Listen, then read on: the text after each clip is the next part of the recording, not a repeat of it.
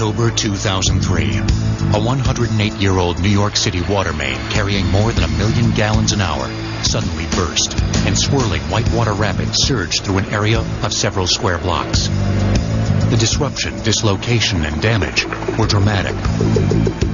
The incident pointed out how fragile and yet indispensable city water systems are. Most of us take them for granted until there's a problem. When most Americans turn on a faucet, they expect clean, pure water to flow out. They also expect their city to have plenty of water for industries, for fighting fires, and for cleaning streets. Public water supply systems in the United States provide all those things for 99% of the population. Over a quarter of a billion people. Water supply is empowering. There are so many things that can happen when you have a water supply and so many things that don't happen when you don't have a water supply. On average, Americans use about 100 gallons of water per person every day. And Public Water Works in the U.S. supply about 40 billion gallons daily. It truly is an invisible empire. There are thousands of miles of these aqueducts and tunnels all underneath the city, crisscrossing and moving. There's very little space down there. They've built so much. And these guys have really built like the men who built the skyscrapers up, they've built the skyscrapers down. Some of the technology used in today's city water systems has been around for millennia. Sanskrit writings from 4,000 years ago talk about the importance of purifying drinking water and describe various methods, including boiling over a fire and filtering through sand or charcoal. 2,700 years ago, qanats, sloping tunnels carrying groundwater, were being used in northwestern Persia. The qanats are basically horizontal wells that are used for irrigation. These are developed originally in the area, uh, mainly what's today Iran. They spread throughout the area into areas like Spain, uh, into parts of China. Around 312 BC, four centuries after qanats first appeared in Persia, construction on the renowned aqueduct system of ancient Rome began an extraordinary feat of engineering. They brought water to the city from as far as 57 miles away. Over a period of 500 years, 11 aqueducts were built to bring water to Rome, and some sections are still functioning today. Ancient Mayans in the Yucatan Peninsula got their fresh water from naturally formed underground sinkholes called cenotes to which they attached great religious significance. The Maya considered the cenotes portals to the underworld, where they would journey in the afterlife to meet gods and ancestors. Probably the most well-known one is the cenote at the big site of Chichen Itza in Yucatan State. And this has yielded a tremendous amount of materials, uh, offerings that were tossed in over the years. Fancy pottery, uh, and very late in the history, uh, gold, um, and few humans uh, for good measure. In larger Mayan settlements south of the area where cenotes are found, huge reservoirs were constructed to capture runoff water. At Tikal, which is one of the larger Maya sites in the southern lowlands, probably held about at least 50,000 people in that city. They had, uh, just in the central precinct of Tikal alone, the reservoirs could hold something in the area of about 200,000 cubic meters of water, quite a bit. Residents of medieval London might have been envious of the Mayan reservoirs. At the beginning of the 13th century, the increase in London's population was creating a growing pollution problem in the existing water supplies, which came from local wells and the Thames River. Across all of London, there were then these cesspits, and there were, of course, these wells, sometimes right next to each other, in, in ways that, you know, were just extraordinary. In 1236, construction was authorized on the Great Conduit, which would bring drinking water to the city from a spring at Tyburn, three miles away. Eventually, several conduit houses were built in London. The stone buildings were not only used for storing and dispensing water, they also served as social centers. This was a place where people gathered during festival times. They decorated the, the, side with garlands. They painted slogans on it. And on real special occasions, like, for example, the uh, coronation of Anne Boleyn in uh, 1532, they stopped the flow of water and put wine in. so that everybody could have wine delivered to them. Still, many Londoners continued to get their drinking water from the Thames River, despite the pollution from human and animal waste dumped in the river. The resulting illnesses weren't associated with the pollution because of lack of knowledge of the microorganisms that cause disease. Sometimes the night air was blamed for uh, certain types of death that would come. Every summer it was almost regular, however, that the so-called sweating sickness would come in, and which is probably a type of typhoid that we know now, but they didn't know it. Like the residents of medieval London, early New Yorkers were completely unaware that their drinking water was making them sick. And thousands would die of waterborne diseases, like cholera, before they made the connection.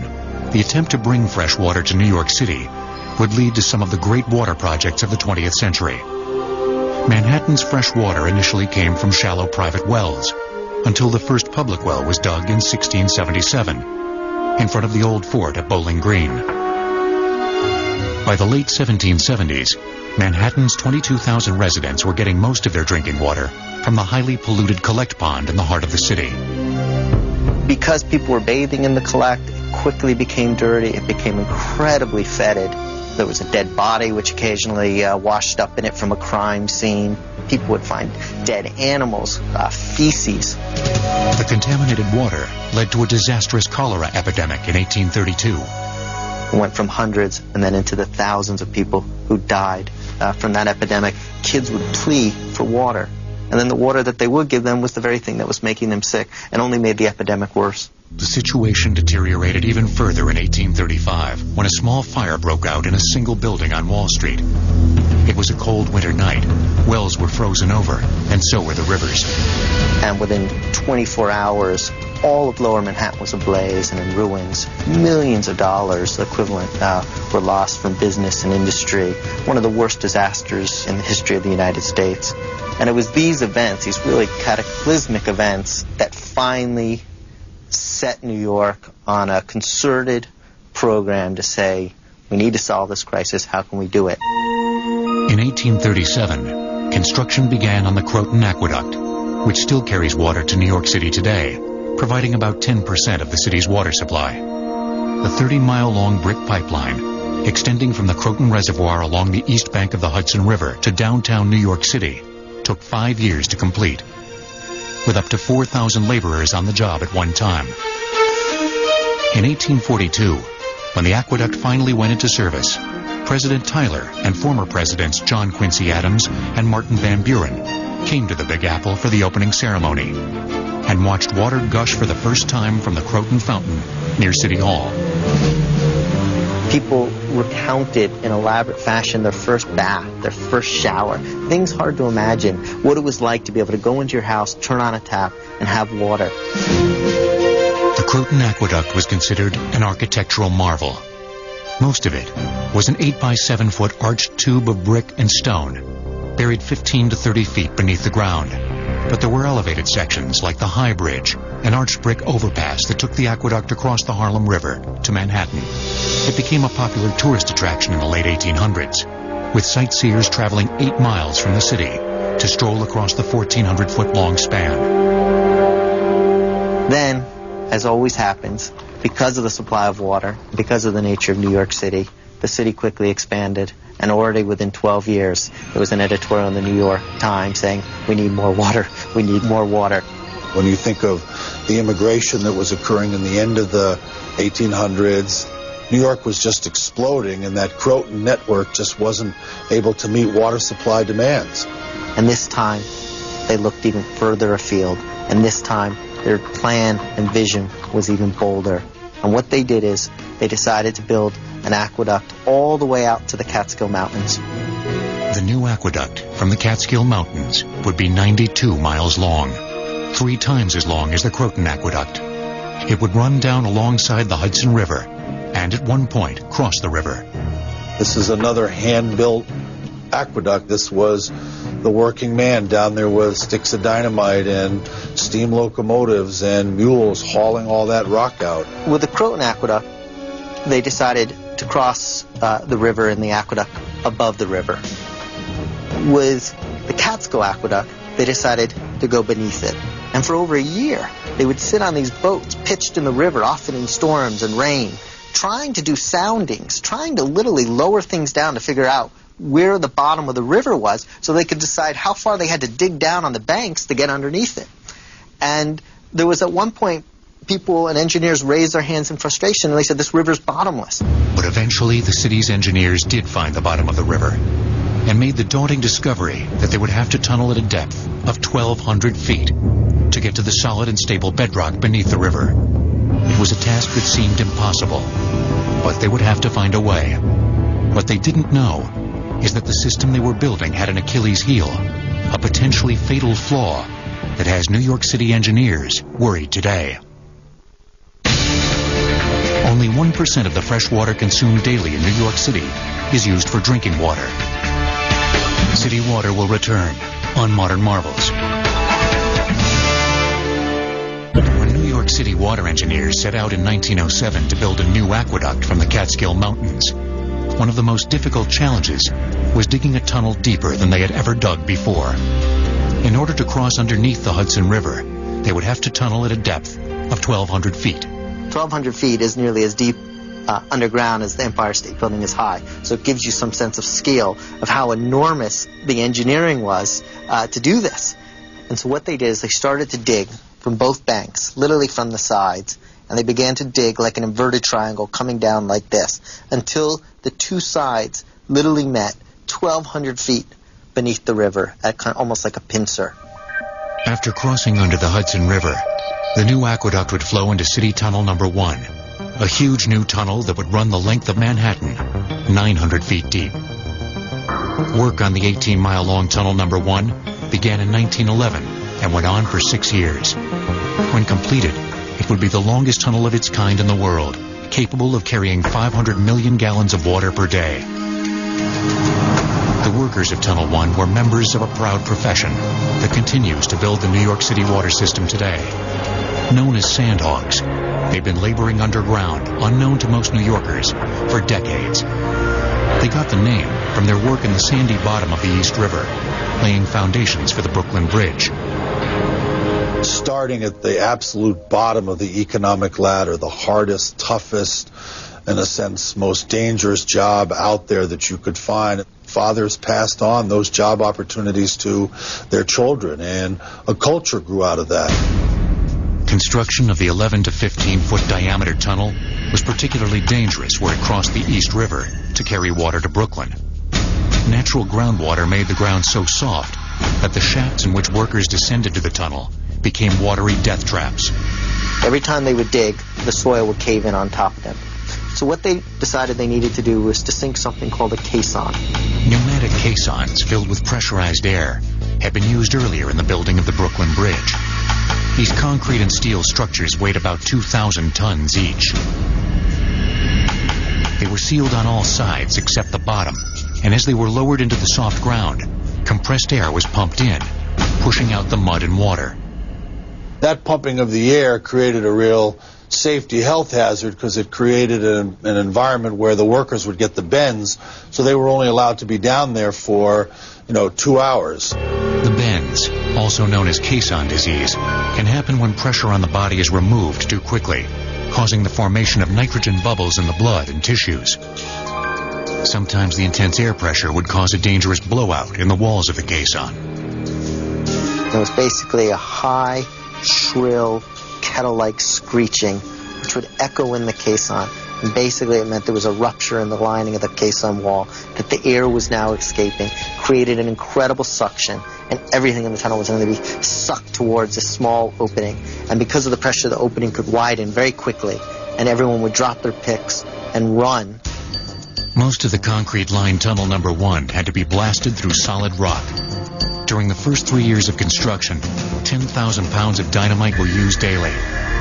By the end of 1912, a total of 2.5 million pounds of dynamite had been used, and 14 workers had died in blasting accidents. The tunnel was finally finished in 1917, and a lavish opening ceremony was planned at a fountain in Central Park.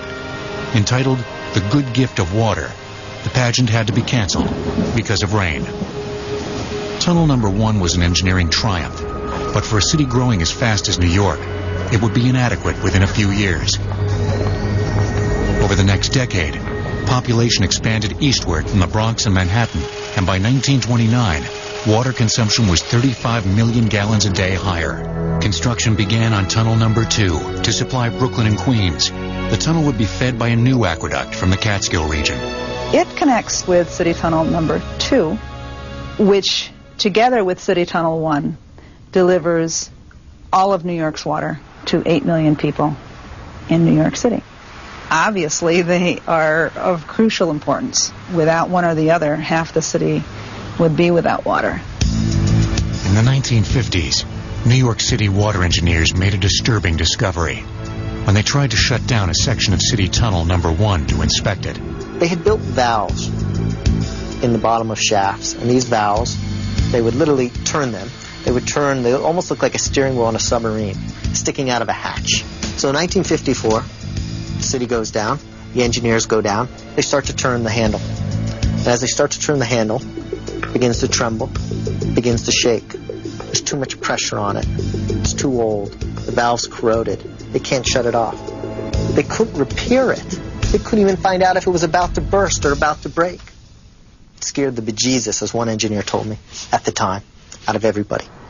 If you lose this system, something that New Yorkers take for granted day in and day out, you'd have a very different New York City without water. And that is, one, a daunting challenge and one that makes the third water tunnel so critical. City Tunnel number one has been in continuous use without a shutdown for inspection or maintenance for well over a hundred years. Hundreds of sandhogs are now fighting a crucial battle to complete a new tunnel as quickly as possible.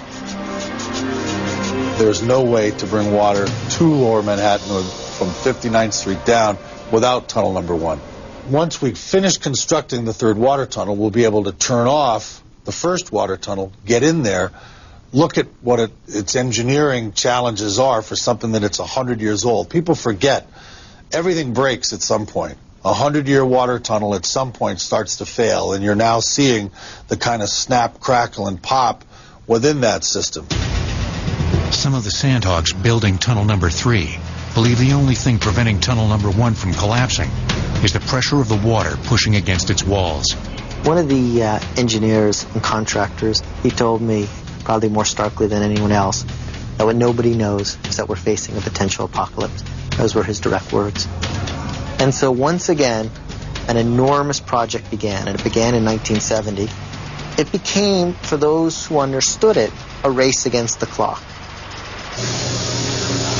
No one understands that race better than the sandhogs of today, who are building City Tunnel number three, many of whom come from a long line of tunnel workers.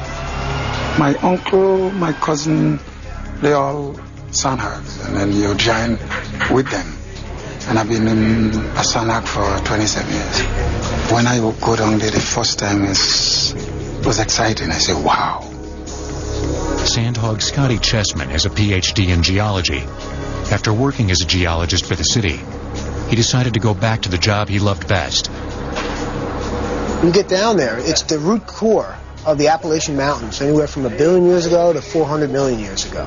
If you're going through here and you see a beautiful cross-section of what it was like, the physical activity that took place, the deformation, the heat and pressure, and the imprint on the rock. And it changes as you go along. You know, it's almost a PhD thesis every 100 feet. The 60-mile-long tunnel number three will extend from Yonkers through the Bronx down to the southern tip of Manhattan and then over to Brooklyn and Queens. Longer, wider, and with more sophisticated control systems than its two predecessors, its construction ground to a halt for nearly a decade after New York City went bankrupt in 1974. And it's not scheduled for completion until 2020.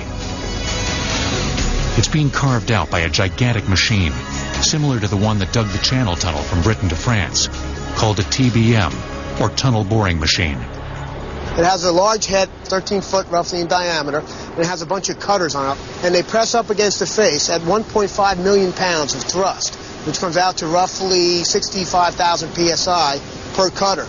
This tunnel boring machine has these large grippers. It locks it out on the wall. It has these large hydraulic cylinders that push the head forward, and the head rotates and presses on the face and creates these chips. As the TBM moves forward, it's up to the sandhogs to clear out the chipped rock it creates. which is called muck. Now this is the actual muck. This is the last conveyor of the system, you see. And uh, it's muck. You can see some chips in it, but it's, it's pretty finely ground. So the muck you're seeing right there probably came from the heading 8,000 feet ahead of us probably 20 minutes ago. Whenever the sandhogs prepare to descend to their workplace deep beneath the city, they're aware of the dangers involved, and that awareness keeps them alive. Five guys that I've worked with have been killed on the job, and then here. a lot of guys have been maimed, and uh, it's sad that it happens, and I don't want it to happen to me, and I'm, they didn't want it to happen to them, but sometimes things happen. You know, safety's a big issue. You know, everybody wants to go home. There's always one last thing to do before getting on the elevator for the 600-foot trip down. This is a check-in, check-out board. It's very, uh, it's an OSHA requirement. If there's ever an accident down there, we'd like to know how many people are down there if you have to rescue anybody. So it's a requirement that you flip over your tag. So as I'm going in, I'll flip over my tag for red and that indicates that I'm in the tunnel. 24 sandhogs have died in the construction of tunnel number three. Some believe they may have given their lives to prevent a catastrophe. If one of those systems collapsed over the next 20 years, it would be it would be a disaster of mega proportions that would overshadow all the disasters combined. It would truly be a calamity. The stakes are as high as they've ever been. They're as high as they were in the 1830s people just don't realize it because the water is still flowing. While we're building the third water tunnel, we definitely and unequivocally do not expect catastrophic failure in the near term. But if you don't do it now and you don't start building it now, it's definitely not going to be a place where that risk is really facing the city. The city of Chicago has never had to look far for its water supply since it's situated on one of the Great Lakes but it did have to build the largest purification plant in the world to keep its drinking water clean. New York City residents consume an average of 1.1 billion gallons of water a day. That's about 300 million gallons less than in 1988, when the city launched a major conservation campaign. City water will return on Modern Marvels. Chicago, the husky, brawling city of broad shoulders, as poet Carl Sandburg once called it, is a city built on water, by water. Today, the Chicago water system includes more than 4,000 miles of water mains, ranging in size from 4 inches to 60 inches, which supply water to 5 million people. But in 1835, this city was home to a grand total of just 350. The population quickly grew to 60,000 in 15 years, and this placed a heavy burden on the city's water supply which came from a water intake at the end of a 150-foot-long pier on Lake Michigan. It was pumped into a wooden reservoir and then flowed by gravity through wooden pipes into town. This is a wood water main, which we estimate to be over 100 years old. It's typical of what it was prior to 1850. This one appears to be coated with some type of tar, which would probably be typical of what they would do when they installed it. In 1864, the city started construction on an engineering project that made headlines around the world. A tunnel that extended two miles out into Lake Michigan, the longest tunnel ever bored up to that time. The tunnel was dug through clay 60 feet below the lake's bottom and was lined with brick to a finished diameter of 5 feet. A pentagon-shaped wooden building called a crib, which would protect the intake shaft from ice and the elements, was built onshore, towed out into the lake, and sunk to the bottom. The term crib came from the wooden pilings which were sunk into the lake bed.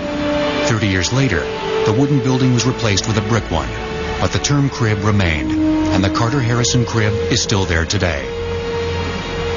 The Chicago Water Department tug, which is also an icebreaker, makes regular trips to maintain it.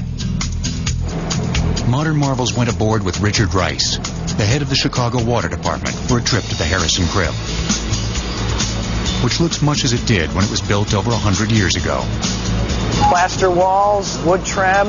We have uh, living quarters for about 19 individuals uh, who may be out here at any given time during the year to do work.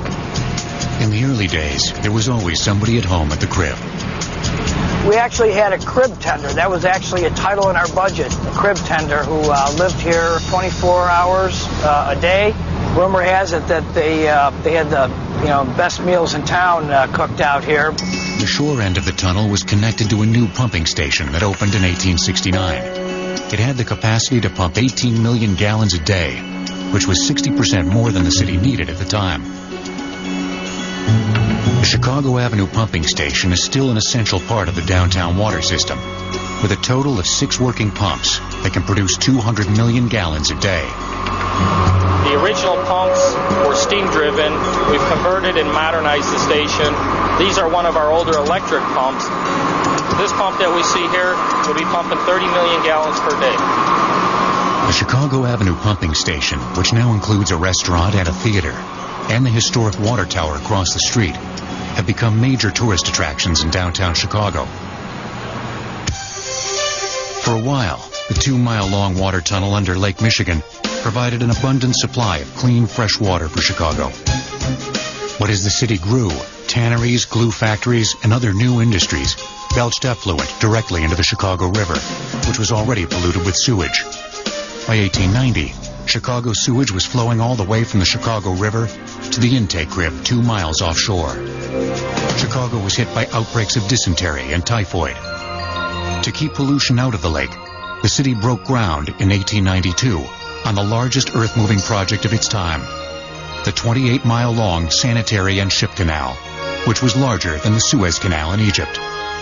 The canal reversed the flow of the Chicago River, making it the first river in history to flow away from its mouth. 8,500 laborers used mule-drawn plows, steam shovels, and dynamite to move nearly 30 million cubic yards of earth. Reversing the river's flow led to a dramatic reduction of pollution in Lake Michigan. And by 1908, Chicago's typhoid rate had dropped 91%. Chicago eventually built more intakes in cribs to bring water from Lake Michigan. They include the still functioning Dever Crib, located beside the old Harrison Crib, and connected to it by a steel walkway. 1935, the Dever uh, Crib was completed, and that was actually a 16-foot concrete-lined um, pipe that actually is beneath the, the floor of Lake Michigan uh, at a depth of about 150 feet. The Harrison Crib, taken out of service in 1998, still serves as the living quarters for maintenance crews working on the Dever Crib. As Chicago's population grew, a large purification plant became necessary. The Jardine Purification Plant, designed to filter and treat more than a million gallons of water per minute, was completed in 1964. It's the largest water treatment plant in the world. Huge pumps bring lake water from the Dever Crib into the plant, where it goes through a vast system of sand and gravel filters to remove impurities, called particulate. Each one of these filters is a conventional rapid sand filter. It's basically a couple feet of gravel topped by a couple feet of uh, sand, and the water travels through the sand and is filtered. It will trap most of the particulate on the top. Aluminum sulfate is added to cause particulate to coagulate into larger particles called floc. This happens in flocculation basins, where a large paddle wheel stirs the mixture. Each one of these flocculation basins has four passes where we slow stir the water to form the floc before it starts its journey through the settling process. Several other chemicals are added to the water before it leaves the Jardine plant. They include chlorine for disinfection, fluoride to fight tooth decay, and blended phosphates to prevent corrosion in water mains and pipes. In the plant's testing laboratory, technicians perform numerous tests to monitor the quality of the water 24 hours a day, 365 days a year. Millions of samples are taken at the plant every year to ensure that the water meets the standards of the Safe Drinking Water Act. The incoming raw water is also monitored for unpleasant tastes or odors. With the odor monitors, we basically use the human nose. In raw water, you may smell an earthy smell, you may smell a fishy smell, you may smell a, a moldy smell, you may smell a chemical or a phenol smell. If the water fails the sniff test, the Jardine plant will add powdered activated carbon, which can remove tastes or odors.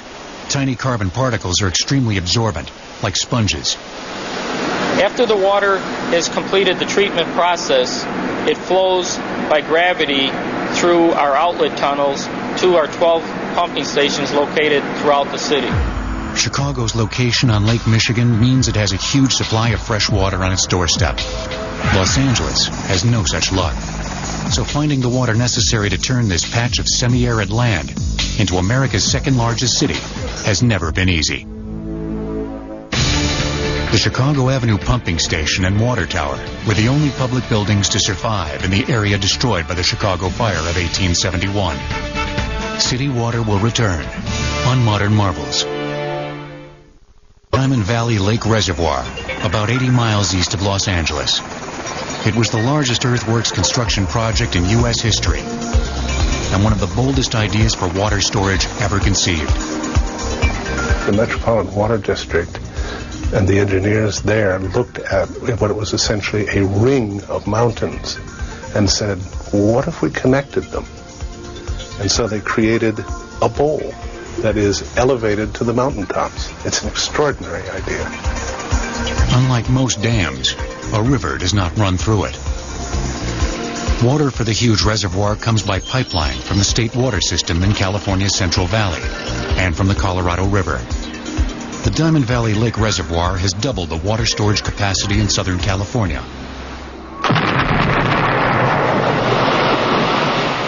Construction began in 1995, and the reservoir was completed five years later. $100 million worth of earth-moving equipment, including some of the largest dump trucks in the world, was used to carve out nearly 150 million cubic yards of soil and rock. When you put that on a scale of those kind of projects that have been done worldwide, that's seventh largest in the world in terms of moving that amount of material, but we did it quite fast. And we were moving enormous volumes of earth and rock every day 20 hours a day, six days a week for four years to do that. Once the dams were completed, the next step was to fill the reservoir with water. With a capacity of over a quarter of a trillion gallons, it took more than two years to fill it up. The Diamond Valley Lake project includes a large pumping station to get the water into the reservoir. The pumps actually draw off that smaller lake or that pumping pool and push water through the mountain that we're standing on to an outlet tower which allows the water to be delivered into the lake. The pumping station contains some of the largest variable speed electric motors that have ever been built. The variable speeds allow them to adjust to changing water levels in the reservoir. Motors can also function as generators when the flow of water through the pumps is reversed. Each of the 12 motors is a Westinghouse 6,000 horsepower motor. They were built in Texas. And they were transported here and then placed on top of the Mitsubishi pumps. They're capable of pumping 175 cubic feet per second. Now, the unique thing about these particular units is they're also capable of running in a generator mode, in which case we can produce 3.3 megawatts of electricity when they're in gen mode. The Diamond Valley Lake project is a visionary investment in the future. As with projects launched by California water planners decades ago, it's expected to pay huge dividends. If ever there was a city built by water, it's Los Angeles. We've always used water in California as a means of removing the natural limits. Clearly, God never intended large numbers of people to live in the Los Angeles basin. It's a semi-arid plain. And yet we had the accidental truth about the development of California is that everyone came west initially for the gold rush and then turned left, going south to the area where the water was not. The story of the early growth of the LA water system is largely the story of one man, William Mulholland, the first director of the city's water department. He was an immigrant from Ireland who first worked as a ditch tender for the city. Is very rough, uneducated, not trained as an engineer, but is supremely confident. By the age of 31, Mulholland was head of the Los Angeles Water Department and searching desperately for new sources of water for the city's growing population. That water would come from the Owens River, more than 200 miles to the north. Construction on the 223-mile-long Los Angeles Aqueduct began in 1908 after a newspaper campaign to get Los Angeles residents to support the idea of a public bond issue to pay for it. Simultaneously, the city fathers announced the existence of a drought, a drought that no one had noticed before. But in order to float the bonds that were necessary to secure voter approval, Uh, it wasn't enough simply to say that there was an abundant supply available for future needs. What followed then was a largely fraudulent, as it turns out, campaign, but only the first of many by which the fear of an impending drought was used to create popular support for new waterworks. With the financing in place, construction finally began on 34 miles of open unlined channel, 39 miles of concrete channel, and 98 miles of covered concrete conduit. Some of the conduit was big enough to drive a car through. Six million pounds of blasting powder were used to build the aqueduct. When it finally went into service in 1913, bottles of Owens River water were handed out to the 30,000 celebrants who traveled by car, wagon, and buggy to the opening ceremony at the San Fernando Reservoir, north of the city center. Although residents of Los Angeles welcomed the new water supply, farmers in the Owens Valley weren't too happy about having millions of gallons of their water siphoned off daily. In 1923, both the city and the Owens Valley area were experiencing water shortages. Confrontations escalated, and there were incidents of sabotage. During the 1920s, there were 10 attempts to blow up the aqueduct with dynamite.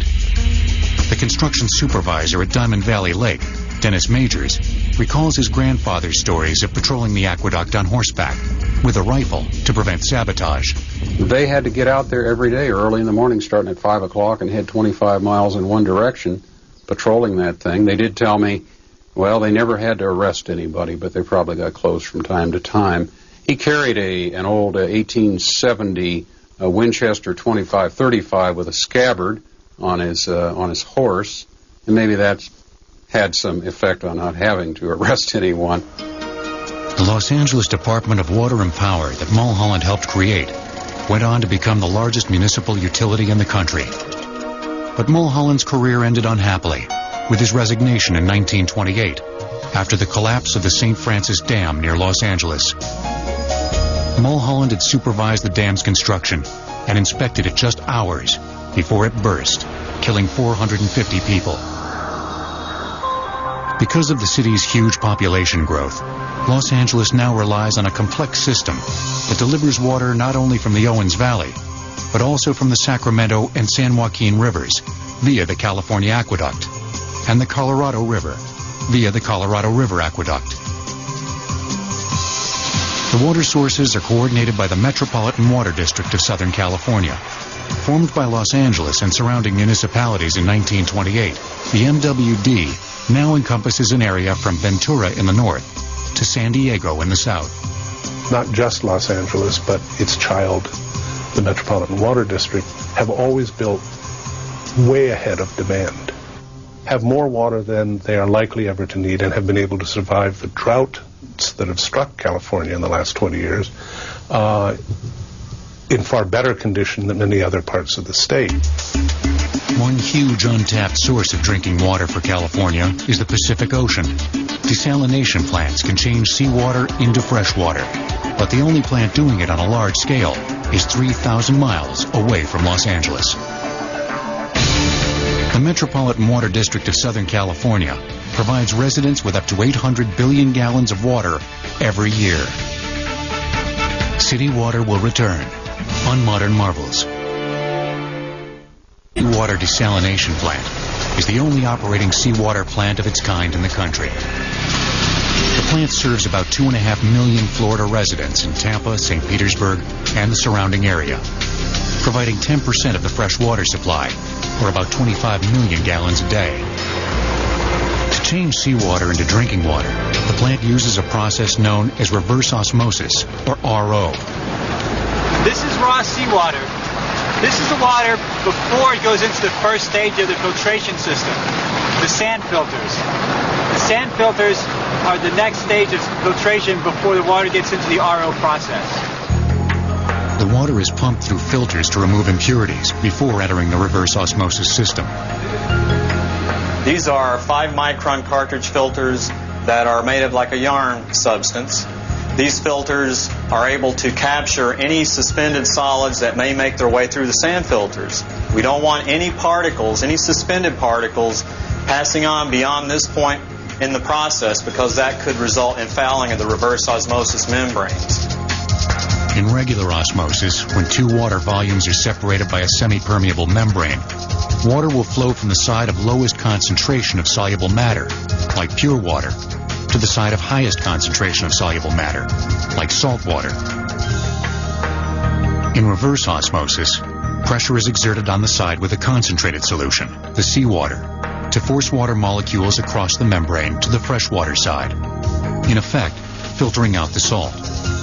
Following the cartridge filtration step, the saltwater pressure is then boosted with this 2,000 horsepower high pressure pump. That pump pressurizes the water up to 1,000 pounds per square inch. That's enough pressure then to pass on to the membranes, which is really the heart of the reverse osmosis process. Each one of the blue pressure vessels contains eight of these reverse osmosis tubes. This is a cross section of a reverse osmosis membrane. The way this works, the salt water under the high pressure 1,000 pounds per square inch is passed into the membrane. That high pressure forces the fresh water through the membrane, leaving behind a salty, concentrated solution. In the entire plant, there are 10,000 reverse osmosis membranes. If you unrolled all these membranes and just put the membrane surface area back to back, it would stretch for 223 miles. The concentrated seawater left over from the desalination process is diluted and released back into the ocean. The desalination project at Tampa Bay is being studied closely by other water departments across the U.S., including the Metropolitan Water District of Southern California. The question will be when we go there, not whether we go there, in my opinion. A seawater desalination program in Southern California could be a very important complement to the other water resources so that when we have droughts or if we had an earthquake that knocked out one of our pipelines from the Colorado River or the State Water Project, you have a palette of resources that you can draw upon, and seawater desalination would be a nice complement to that. As fresh, pure water becomes an increasingly valuable resource, some experts are calling it the new oil and predicting that wars may someday be fought over it. Ideas that would have been considered bizarre a few years ago are looking increasingly viable. A Greek company, Aquarius Water Transportation, has been supplying fresh water to several Greek islands using huge floating plastic bags. The bags, which are towed to the destination by tugboat, can each hold nearly 8 million gallons of water. Another company has proposed wrapping entire icebergs in plastic and towing them to locations that need water. 70% of the Earth's fresh water is locked up in the polar ice caps from which icebergs are formed. People have been talking about icebergs for a long time. It's sort of a, a captivating idea, and, and um, there are certainly areas of the world that have uh, limited uh, options, and uh, just towing down an iceberg to areas of the Middle East or uh, even some islands in the South Pacific that are limited in their water supplies um, could be very attractive. Futuristic techniques like these may be practical in isolated applications, but for the most part, public water supplies seem destined for the foreseeable future to continue using tried and true methods, some of which date back thousands of years. It's hard to beat rivers, reservoirs, pipes, and pumps. But unless today's water planners have the vision, foresight, and public support that their predecessors had decades ago, the consequences could be dire.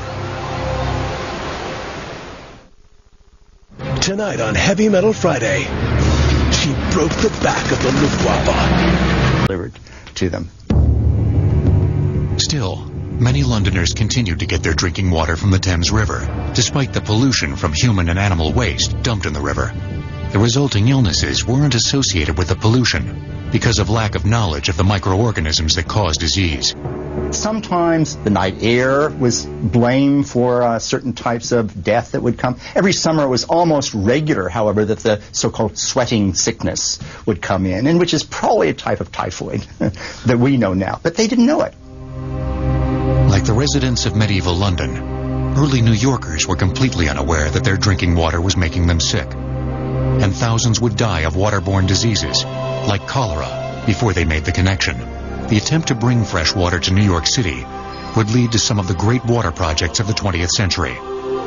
Manhattan's fresh water initially came from shallow private wells until the first public well was dug in 1677 in front of the old fort at Bowling Green.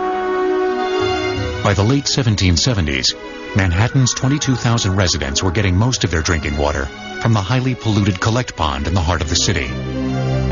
Because people were bathing in the collect, it quickly became dirty. It became incredibly fetid.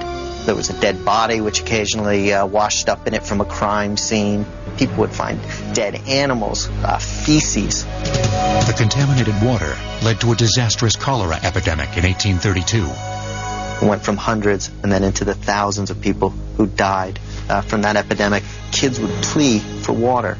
And then the water that they would get. Talk about the importance of purifying drinking water and describe various methods, including boiling over a fire and filtering through sand or charcoal. 2,700 years ago, qanats, sloping tunnels carrying groundwater, were being used in northwestern Persia. The qanats are basically horizontal wells that are used for irrigation. These are developed originally in the area, uh, mainly what's today Iran.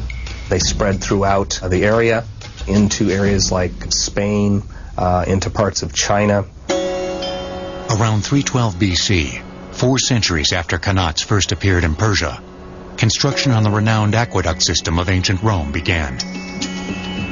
An extraordinary feat of engineering. They brought water to the city from as far as 57 miles away. Over a period of 500 years, 11 aqueducts were built to bring water to Rome, and some sections are still functioning today. Ancient Mayans in the Yucatan Peninsula got their fresh water from naturally formed underground sinkholes called cenotes, to which they attached great religious significance. The Maya considered the cenotes portals to the underworld, where they would journey in the afterlife to meet gods and ancestors. Probably the most well-known one is the cenote at the big site of Chichen Itza in Yucatan State. And this has yielded a tremendous amount of materials, uh, offerings that were tossed in over the years. Fancy pottery, uh, and very late in the history, uh, gold, um, and a few. October 2003. A 108-year-old New York City water main carrying more than a million gallons an hour suddenly burst, and swirling whitewater rapids surged through an area of several square blocks. The disruption, dislocation, and damage were dramatic. The incident pointed out how fragile and yet indispensable city water systems are. Most of us take them for granted until there's a problem. When most Americans turn on a faucet, they expect clean, pure water to flow out. They also expect their city to have plenty of water for industries, for fighting fires, and for cleaning streets. Public water supply systems in the United States provide all those things for 99% of the population. Over a quarter of a billion people. Water supply is empowering. There are so many things that can happen when you have a water supply, and so many things that don't happen when you don't have a water supply. On average, Americans use about 100 gallons of water per person every day. And Public Water Works in the U.S. supply about 40 billion gallons daily. It truly is an invisible empire. There are thousands of miles of these aqueducts and tunnels all underneath the city, crisscrossing and moving. There's very little space down there. They've built so much. And these guys have really built, like the men who built the skyscrapers up, they've built the skyscrapers down. Some of the technology used in today's city water systems has been around for millennia. Sanskrit writings from 4,000 years ago. Give them was the very thing that was making them sick and only made the epidemic worse. The situation deteriorated even further in 1835 when a small fire broke out in a single building on Wall Street. It was a cold winter night. Wells were frozen over, and so were the rivers. And within 24 hours, all of lower Manhattan was ablaze and in ruins. Millions of dollars equivalent uh, were lost from business and industry. One of the worst disasters in the history of the United States. And it was these events, these really cataclysmic events, that finally set New York on a concerted program to say, we need to solve this crisis. How can we do it? In 1837, construction began on the Croton Aqueduct, which still carries water to New York City today, providing about 10% of the city's water supply. the 30-mile-long brick pipeline, extending from the Croton Reservoir along the east bank of the Hudson River to downtown New York City, took five years to complete, with up to 4,000 laborers on the job at one time. In 1842, when the aqueduct finally went into service, President Tyler and former presidents John Quincy Adams and Martin Van Buren came to the Big Apple for the opening ceremony and watched water gush for the first time from the Croton Fountain near City Hall. People recounted in elaborate fashion their first bath, their first shower. Things hard to imagine what it was like to be able to go into your house, turn on a tap, and have water. The Croton Aqueduct was considered an architectural marvel. Most of it was an 8 by 7 foot arched tomb. Humans, uh, for good measure. In larger Mayan settlements south of the area where cenotes are found, huge reservoirs were constructed to capture runoff water. At Tikal, which is one of the larger Maya sites in the southern lowlands, probably held about at least 50,000 people in that city. They had, uh, just in the central precinct of Tikal alone, the reservoirs could hold something in the area of about 200,000 cubic meters of water, quite a bit. Residents of medieval London might have been envious of the Mayan reservoirs. At the beginning of the 13th century, the increase in London's population was creating a growing pollution problem in the existing water supplies, which came from local wells and the Thames River. Across all of London, there were then these cesspits, and there were, of course, these wells, sometimes right next to each other, in, in ways that, you know, were just extraordinary. In 1236, construction was authorized on the Great Conduit, which would bring drinking water to the city from a spring at Tyburn, three miles away. Eventually, several conduit houses were built in London. The stone buildings were not only used for storing and dispensing water, they also served as social centers. This was a place where people gathered during festival times. They decorated the, side with garlands, they painted slogans on it, and on real special occasions, like, for example, the uh, coronation of Anne Boleyn in uh, 1532, they stopped the flow of water and put wine in so that everybody could have wine.